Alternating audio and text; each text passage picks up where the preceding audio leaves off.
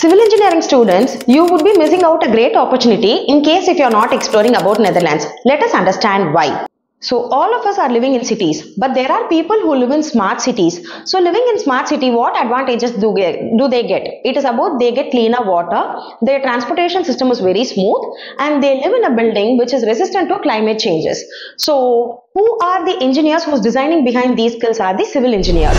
Where are they doing this from? It is Netherlands because they have already redefined the civil engineering. This country's infrastructure is developed in the best way so that the people over there do not face any real-time challenges. So what the country has done, it is that they have developed floating homes to prevent the flood threat and they also have the AI monitor traffic systems.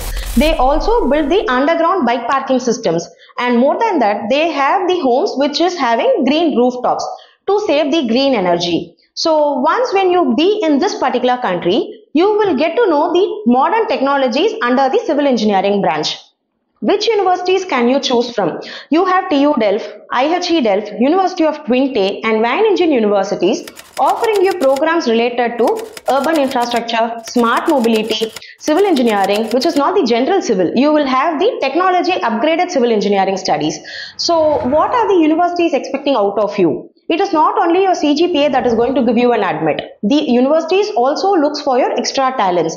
Like you can concentrate on your internships, the mini projects that you do. So all this is going to add voltage to your admissions. And since these are English taught programs, you just need to submit your English proficiency test. Either an IELTS score or a TOEFL scorecard will suffice.